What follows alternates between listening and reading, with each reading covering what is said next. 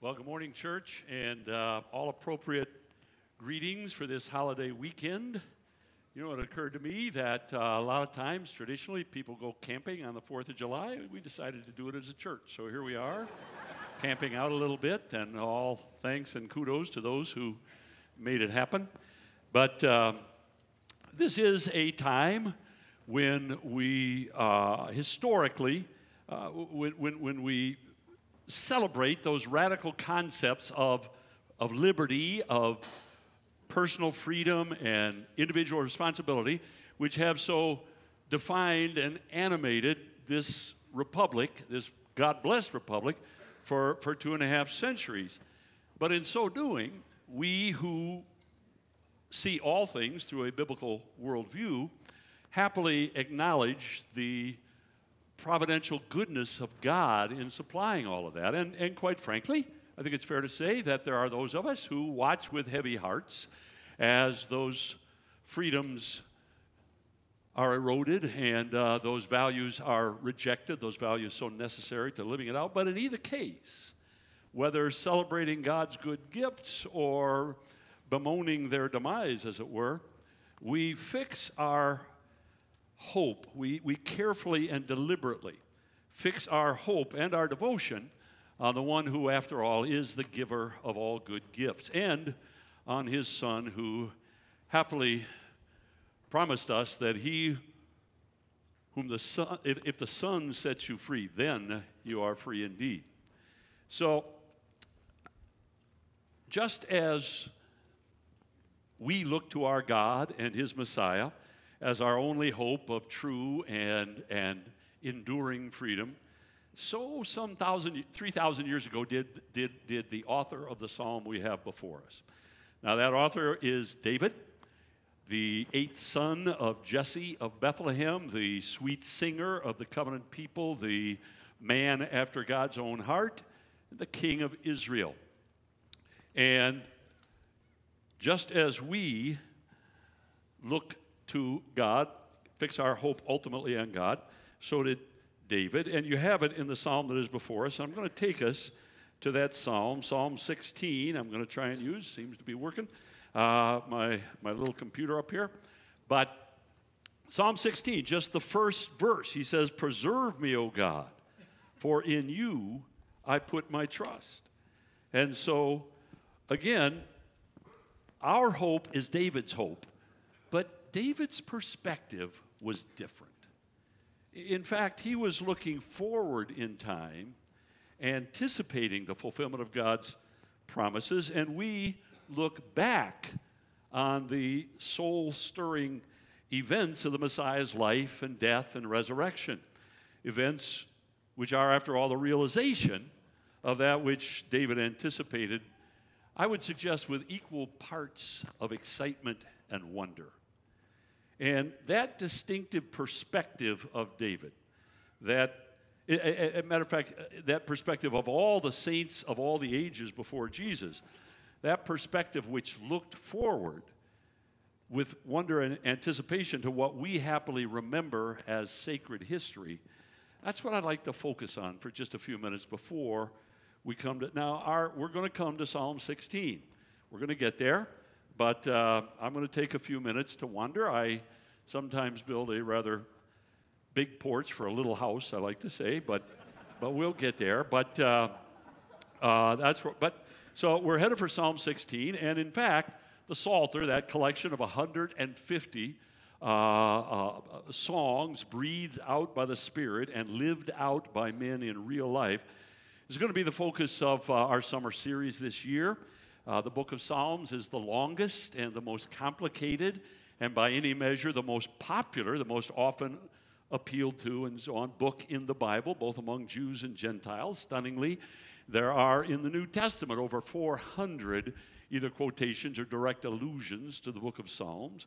And there's one dynamic, I'm going to teach Bible survey here for just a minute, but there is one dynamic of the Psalms that is, is really important to understand and that is the superscripts. 117 of the 150 Psalms in our Psalter include a title, a superscript. Now, in the Hebrew canon, they are verse 1 of the psalm. In our English canon, they're appended as a note at the beginning. Frankly, there is some little discussion as to their whether or not they are original are original. I think they are, and uh, and uh, but that's a, a discussion for another time, perhaps.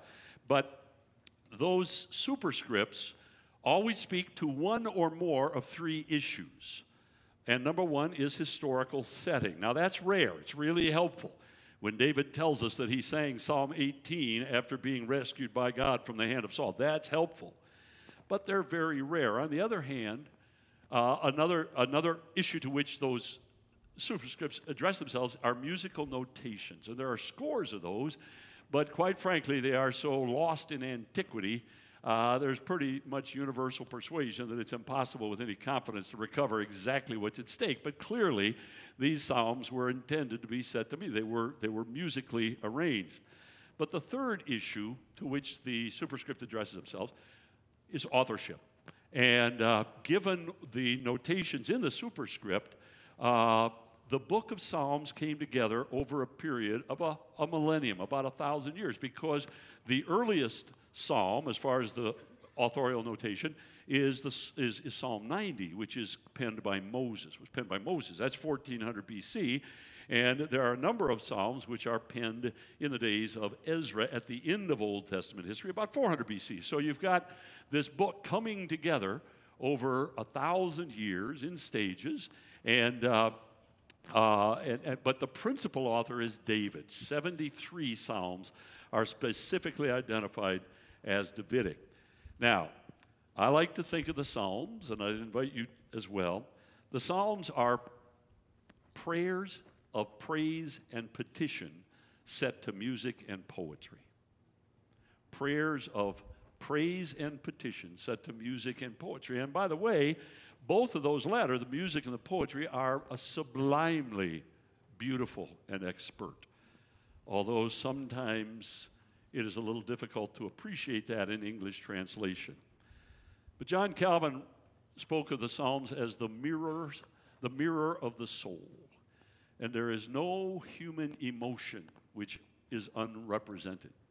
And happily enough, because the human authors, and again, real men reflecting on real experiences in real life, but because those human authors were superintended by the Spirit of God in crafting those songs, we can trust the Psalms to teach us perfectly how to think, how to react, how to pray in every season of life.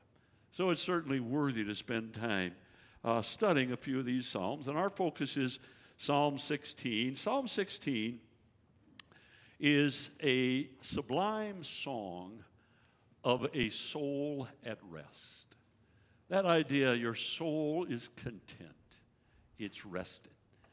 Uh, it's, it's, it's, a, it's, as I say, it's a sublime notion.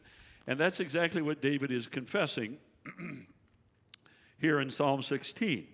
Now, uh, and, and let me just say real quickly I think, this is a bit of an aside, uh, I think the best picture, I don't know if the best, but one of the really compelling pictures of what it means for God to put things at rest is Elijah in the at Mount Sinai in 1 Kings 19. And you remember Elijah had won that victory at Mount Carmel and was outrunning the chariots of Ahab to get back Jez, to Jezreel because he was so anxious to see Jezebel fall on her knees and say, What must I do to be saved? But when he got there, it didn't, didn't happen at all, and she threatened his life, and so he began running. And he doesn't slow down and he gets all the way down to Mount Sinai. It takes him 40 days.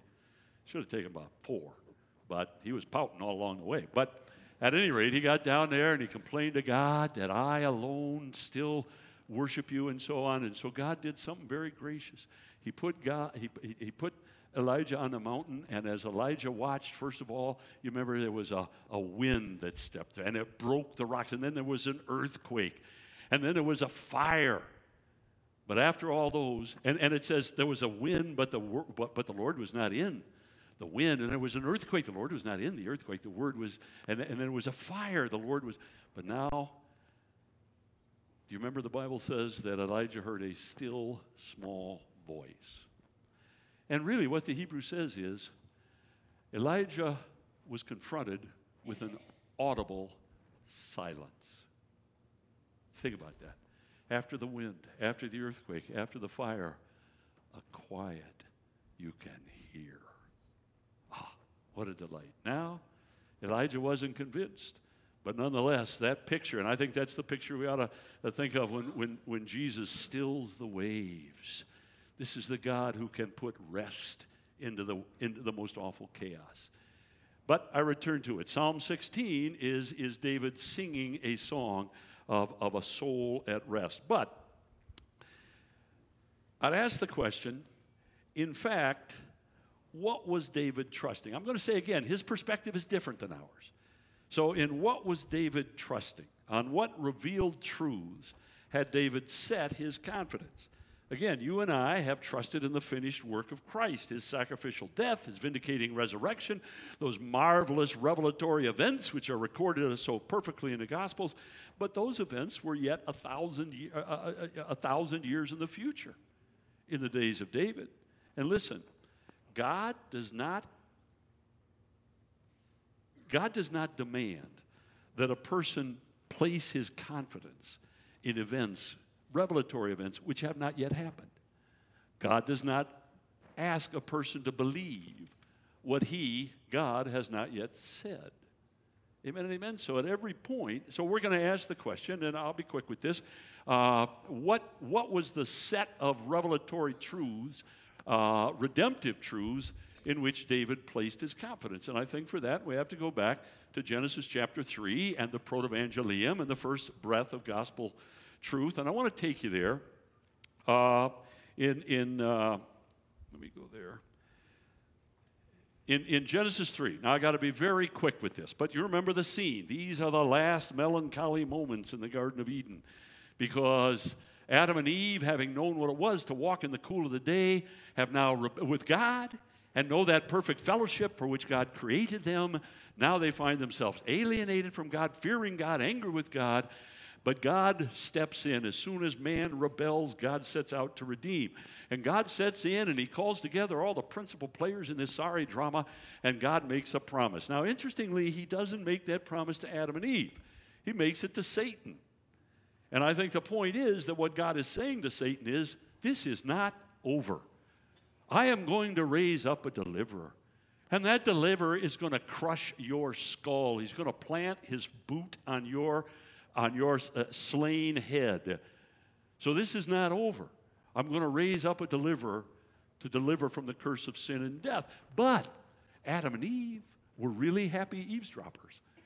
And uh, how their heart must have leapt when, to, to hear that no, it's not over. Now, there's a lot more to say here, but I'm just going to stop with that. That what God does immediately is to promise that He's going to raise up a deliverer, and that that deliverer is going to come from the seed of woman. Now, I want to go to another passage, and uh, sometimes things will show up on my screen here. And that's verse 21.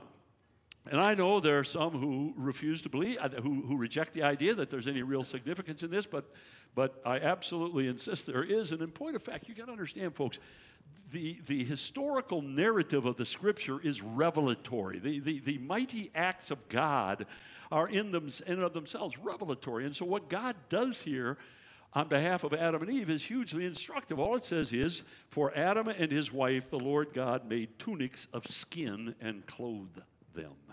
Now, let me give you a, an insight with which you will not disagree.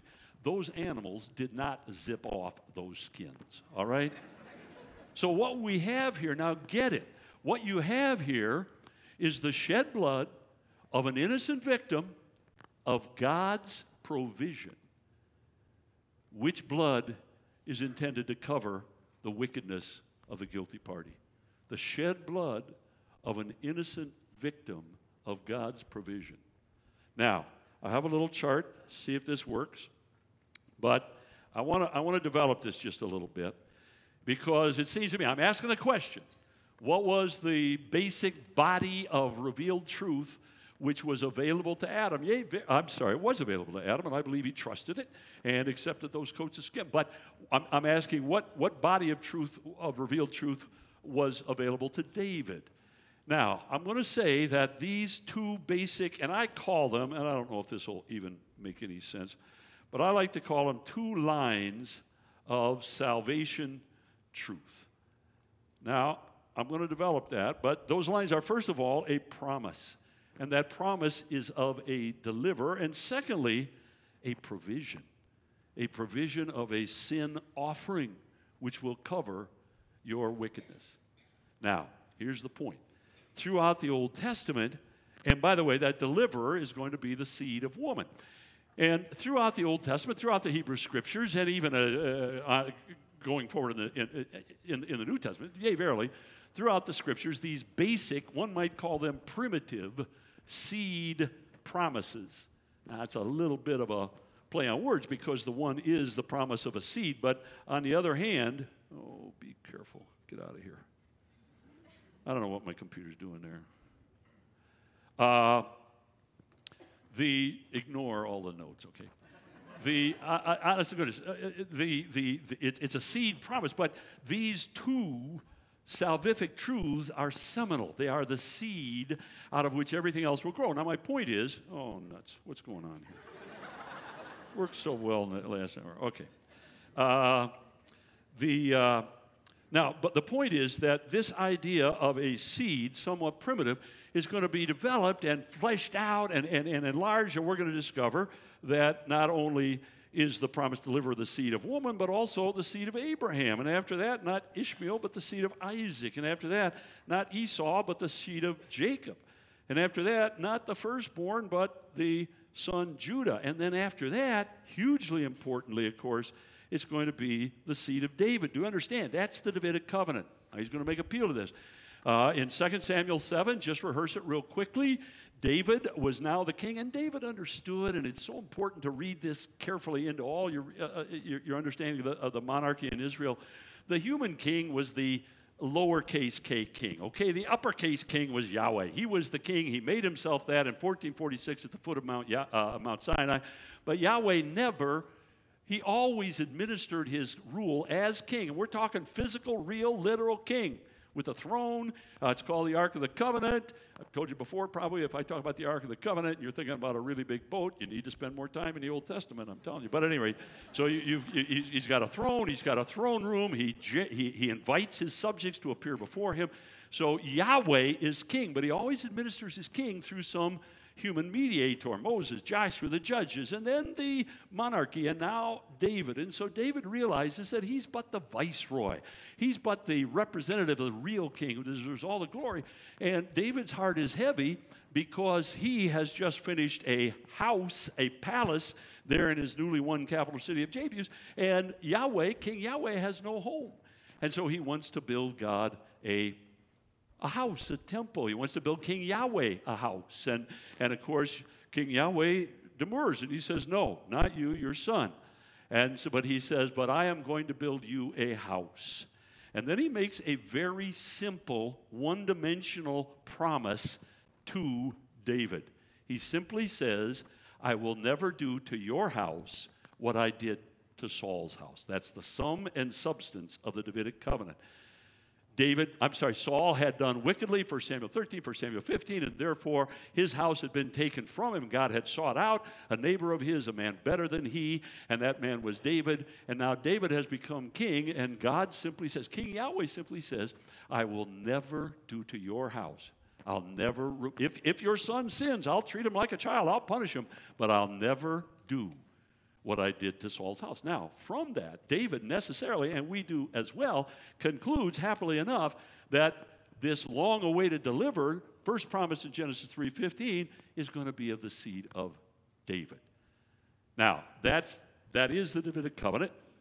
And well, I'll just leave it at that. And, and, and not only with regard to the seed, we, so many ways we, we uh, find more and more about, we, we know more and more about this delivery. He's going to be born of a virgin. He's going to be born in Bethlehem. He's, he's, he's, go, he's going to be despised and rejected. All of this is, but as, as, with all of that greater, further revelation, this basic reality that there is going to be a deliverer who is of the seed of woman is never compromised, never abandoned. And by the same token, with regard to a provision, uh, th- this blood covering, that grows. And, and, and for instance, just to, uh, we are told later on, uh, we are told in the process of Revelation, God insists that all of those sacrifices are made in a, in a central altar. Deuteronomy 12, the tabernacle and the temple. Uh, we're told that not just any patriarch is to offer sacrifices, but it has to be a certain family, the family of Aaron, of the house of Levi. And as a matter of fact, we're, there is spelled out for us a huge Levitical system that is very specific about what animal is to be offered and what parts are to be offered on the altar and what season and so on. And you know, one element of that instruction, I'm going to stop here just a moment. One element of that instruction that, that is, is uh, I'm testing, is uh, I think hugely instructive and, and much overlooked. I'm going to do this quickly, but you know, in, in, in spelling out the Levitical system and specifically laying out what the sin offering, when you bring a sin offering, uh, that animal uh, uh, uh, had to be, it's very specific. Matter of fact, here, just real quickly, I, can, I have it up here. Uh, in, in Leviticus chapter 4, says again and again, this is talking here about the, the common people. Lay his hand on the head of the sin offering. I'm going backwards here. When a ruler is sinned, notice, notice in the yellow, lay his hand. When the, when the congregation sins, the elders will come and lay their hands. And the word lay their hand does not mean just, it means to lean upon. It's a very, very strong word, and it means, that's why I was testing, it means to lean all your weight upon. And that's the picture. And I think the reason is, and I'm talking about the way in which this primitive offering, uh, the provision of a sin covering, is fleshed out and enlarged, and we understand more and more about it. And part of that is the teaching that when you bring a sin offering, you lean your weight upon it. You know what? The Levitical services were designed, all of those offerings, and the, uh, uh so much in, in all of its parts, it was designed to absolutely assault your physical senses. God wanted your attention. And so there are so many ways. And when you would bring a sin offering, you think about it, uh, and I think this applies to the Passover as well, but number one, every sense, you're, you're, you're, when that, you're going to be resting on that lamb, and now the priest is going to come, and with one very deft and humane stroke, he's going to slit that lamb's throat. You're going to smell the blood as it's evacuated. You're going to hear the death rattle. You're going to watch as the eyes roll back. In the case of the Passover, you're actually going to go and eat some of that meat. But my point is, you're leaning on him, so when he collapses, you're going to collapse with him and you're going to have to get up and dust yourself off. Why would God put you through that? Because He's trying to teach you something. And that is two blessed lessons. Number one, the wages of sin must be death. God never had to deliberate that. That's a factor of His character. So there has to be death. But number two, that holy God who demands death for sin is also such a gracious God that he will provide an innocent victim who can die the death you deserve to die as long as you're willing to lay all of your weight upon him. So I'm saying that all of that is fleshed out in this, in this, uh, in, in, this, in, as we go forward in Scripture, as to the, the number one, the promise of a deliverer, and secondly, the provision of a blood covering. Now, this is the question I want to ask. I'm going to manipulate this just a little bit. Uh, as we go forward in sin, you have these two, uh, in, in the Old Testament, you have these two lines of salvific truth. And when we come to the New Testament, we discover that there's but one line of salvific truth. In fact, the promised deliverer is also the ultimate sin sacrifice. Now, that's our happy possession. We understand that. And furthermore, oh, I better not go down that road. But, but there is so much excitement in that. This is what Paul exults over in, in Romans 3 when he says that we now can understand how God can be righteous, how he can be just and the justifier of them that believe. I love that phrase. We can understand by reason of the finished work of Jesus Christ, the God man who could offer himself up as, a, as, a, as, a, as an infinitely valuable atoning sacrifice and cover the infinite holiness of God. We on this side of the cross, and that's my point. When did these come together? And I, when did we make, when, when did, did God make clear that in point, in fact, those two lines of salvific truth were one? And I would say, it's only after the cross. that, that, that it's the cross that informs us, that helps us, under, that, that, that makes us understand that, as I say, the promised deliverer is also the sin sacrifice, and therefore, we understand how God can be just, absolutely true to his holy character, and the justifier, proclaim righteous those who believe by reason of the fact that we are in Christ. All right, so I'm going to leave that alone. My point is simply this that I think it's good. I'm going to take you to Psalm 16. And, and again, uh, uh, just with this much of a, of a background, that if we go back to David's day, here is what God had made absolutely clear. He made it at the very dawn of fallen human history, Genesis chapter 3. But it is the, the, the, possession of David, and that is, first of all, that the wages of sin is death, and therefore there must be a blood covering. And secondly, that God has provided, as, promised, a deliverer who will, in fact, crush the skull of the tempter. And that the deliverer will come through the seed of woman and then of Abraham, Isaac, Jacob, Judah, and now of David. So I would say that this is the stuff and substance of David's hope. Uh, he acknowledges that the blood offerings made yearly on the Day of Atonement are God's provision to cover his sin, and he looks longingly for the deliverer promised there in, in the Garden of Eden, Genesis chapter 3. So, again, David's hope, and I'm going to take you to Psalm 16. And let me say again David's hope was our hope, but his perspective was different. Uh, one more time, he was longing and expecting. We are remembering and delighting. Uh, for David, uh, in, in each case, our confidence is in what God has clearly revealed. For David, that was a promise first made in the Garden of Eden, recently made personal to him when God cut a covenant with David himself.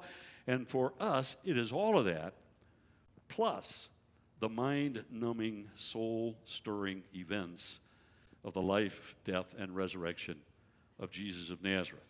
So, I hope that's some help. In light of that fine tuning, let me take you then to uh, Psalm 16. I have a little outline. I'm going to work through the outline. I don't know it's very helpful, but uh, it, as I say, it's, it's, it's really kind of a one-dimensional psalm. It's, it's I got one-dimensional. That's, that's, but it's not real complicated. David is, is rejoicing over the, the uh, confidence that he has that he belongs to God and God is Yahweh, and, and, and, and Yahweh will take care of him. So let me just take you to the psalm. Uh, notice it's called a miktam. Again, that's one of those musical notations, or at least literary notations, that we're very unsure of. Uh, there are six of them, this one and Psalm uh, 56 to 60. But uh, uh, well, again, I don't know that we can make too much use of it. But notice in the, in the first two verses, we've already read these, or uh, uh, looked to these, David expresses his confidence in the Lord for all the years of this life. And notice he says, Preserve me, O God, for in you I put my trust. Now, watch this. He says, Oh, my soul. He gives us an in, kind of a, a, window into the depths of his soul. And he says, You have said to the Lord. Now, notice the Lord there is Yahweh. It's those uppercase letters which signal that it is Yahweh. But then he says, I have said, I, my soul, you have said to Yahweh, You are my Adonai, my Lord, my master. And he is bowing the knee, and therefore he says, My goodness is nothing apart from you. I have no hope of satisfying uh, uh, your demands of, of, of living a life pleasing to you apart from you. Now, I want to stop for a moment on that statement where he says, You are my Lord. In point of fact, listen, folks, we all agree, I think, that salvation is by grace through faith. But my concern is that I, I think we have done some little damage to, to, to the word faith, to the concept of faith, because we regard it as something almost entirely abstract, maybe mental, metaphysical. It could not be more practical, real world, rubber hits the road concept, faith. And I think to understand that, the best way, I think the best uh, uh, synonym to reflect what the Bible is talking about, that, that is synonym for the word faith, is allegiance. And, and I just invite you to ponder that because, uh, and, and, and, well, I think it's born out of a very standard, normal uh, event, if you don't mind, in Old Testament, the ancient Near East of antiquity, and that is you'd have this wandering nomadic people, and they're constantly set upon by marauding kings, and they grow weary of it, and so they find themselves a king. Now, I like to say that most kings in the, in the Old Testament, most in antiquity, were kinglets. They weren't vast domains. They just had a walled city, which was the absolute be all and end all of security. You didn't have any security if you didn't have a walled city. So here's a king, he has a walled city, he has a little domain, and now there's people come to him and they actually sign a treaty and they become his vassals. And basically they say, look, we're tired of being beset upon by all of these robbers and marauding uh, kings and so on. So we will become your vassals, your subjects, your servants. And number one, we will entrust, we will trust you to keep us safe. That's what it means. When you swear allegiance, when you exercise faith, you, you, you, you, you, you determine that you will trust entirely that master to keep you safe. Now, let's just think real practically what does that mean? Well, if you've genuinely trusted Jesus Christ to be your security, you're not going to trust your good works. You're not going to look to any sort of ritual or sacrament. All of that would put the lie to your claim that you're depending upon Him for your security. Does that make sense to you? But not only do you look to Him, I'm saying that when you give allegiance, first of all, you, you, you look to that King for security, that Master, that Lord. And number two, you obey what He demands. And so, this simple reality of trust, do you see what I'm saying to you? That's as practical as it can possibly be. You're going to genuinely entrust Him, uh, uh, trust Him for your security, and you're going to obey what He demands of you. And therefore, I think that's what He means when He says, I have said to Yahweh, You are my Lord. David is bowing his knee, he is swearing allegiance, and therefore he is entirely trusted. That's why he says, Preserve me, I put my, my trust in you. But then David goes on to, in verses 3 and 4, to. Uh, to, to talk about his companions, which is really kind of curious here. Now, you got to understand the situation too that David is the, ooh, man, am I in trouble? Okay, I'm going to hurry. Uh, David is the, is the, uh, is the king, and, and, and Yahweh is the ultimate king, but most of the people who live in that commonwealth, in point of fact, in their heart and home, are entirely rebellious. And so it's very important, David, to make the point that he is going to seek out as his companions because he has sworn allegiance to Yahweh. He is going to seek out those who are excellent ones, who are saints, who are holy ones, because he knows that their sorrows shall be multiplied who hasten after another God. Their drink offerings of blood I'll not offer, and uh, nor take their names on my lips. All he's saying is, I will have nothing to do with those who worship these other gods. And listen, folks, really quickly, is there anything more practical? in, in, in terms of living out the life God expects of us than the company we keep, for heaven's sake, the people to whom we gravitate. We ought to be so deliberate about it and so on. Is there anything more practical or more diagnostic of where your heart and life really is than, than the company you keep? So, at any rate, it's interesting. This is a very practical uh, expression of praise. But then he says, he says, O Lord, you are the portion of my inheritance uh, you maintain my lot. The lines have fallen to me in pleasant places. I have a good inheritance, folks, real quickly. David is clearly picking up, he's making a word picture out of a very important event in Israel's history, and that is the division of the land after the conquest. After Joshua had, and the arms of conquest for seven years had gone out and totally destroyed the capacity of the Canaanites to defend themselves, then Joshua brought the elders together at a place called Shiloh, and there he divided the land among the 12 tribes. Five already had theirs, seven were given their inheritance. And the idea was, and in many cases it fleshed itself out this way, that the individual tribes would go, they would complete the conquest of their territories, they would move in, they would settle. This was a land flowing with milk and honey. This was a good land, and that, and that they, would, they, would, they would settle in and say, Our lines have fallen out in pleasant places. Our inheritance is a good inheritance. And David is making that a word picture for his own life. And let me just say, real quickly, folks, that David's delight, the fact, it wasn't. As David surveyed his own life, it wasn't because there was, an, there was no trial or difficulty or danger, for heaven's sakes. There was plenty of that. And yet, all of the trials and vicissitudes and dangers and, and, and, and, and disappointments and blessings and victories and so on of life, you know what? All of that is ultimately very superficial to genuine soul contentment. And David knew that soul contentment because he had said, You are my Lord. Listen, it is such, it is the stuff of fallenness to, to long to rule our own lives. The Luciferian uh, uh, uh, tendency, if you don't mind, the Luciferian wickedness. I'll be like the Most High. I will rule in my life. And, and, and, and, and does God have a claim on your life? Absolutely. Is it odious? It is. No, because God put you together. God knows how you are built. God knows that He has crafted you with a longing to know and enjoy Him. And so, and God knows how to live, how to teach you to live skillfully. So the tendency to rebel and to, to insist that we're going to live for ourselves uh, is so destructive. Do you hear what I'm saying? He, because he said, You are my Lord, he is able to say, My lines have fallen out in pleasant places. You know, Jesus uh, articulated this four different times in his ministry in four different situations. He said, The man who will save his own life will lose it, but the man who gives his life away for my sake and the sake of the gospel is going to find it.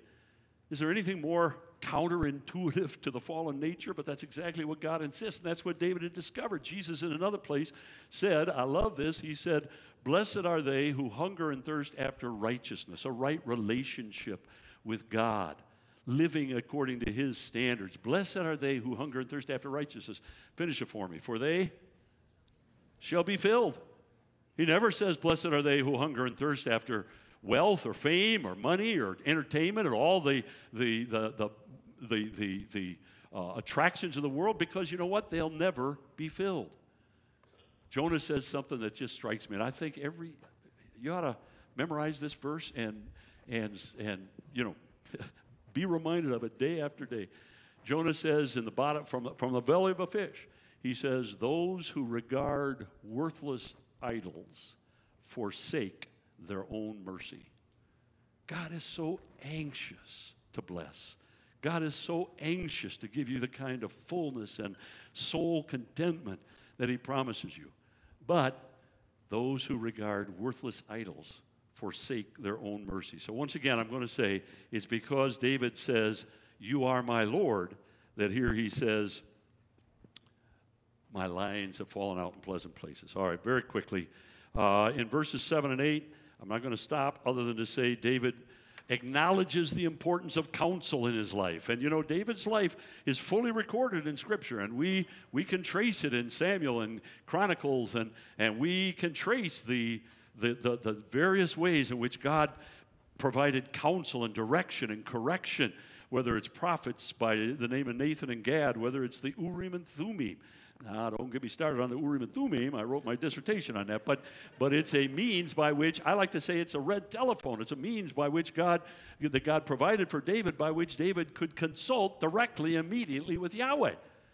And then, of course, you have the informal, uh, you know, a, a, volunteer counselor by the name of Hushai or a, a, a, wise woman by the name of Abigail. So, in so many ways, God had surrounded David with the kind of counsel which is absolutely necessary to, to staying on the straight path, if you don't mind. So, he rejoices over that.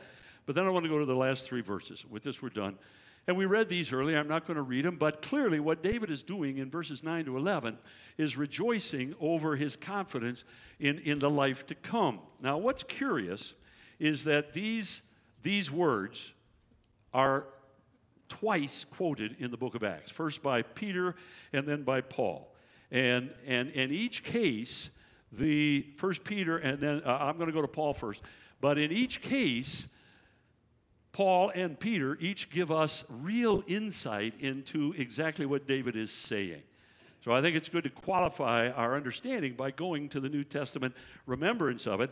And very quickly in Acts 13, Paul is in Antioch of Pisidia on his first missionary journey. He is making the case that Jesus is the Messiah. And as he does that, he appeals first of all to Psalm 2, but then it says here in verse 15, uh, verse 35, he also says in another psalm, and he cites Psalm 16. But then he goes on to say, I've covered it there. For David, after he had served his own generation, by the will of God, fell asleep and was buried with his fathers and saw corruption. So Paul is saying, now wait a minute.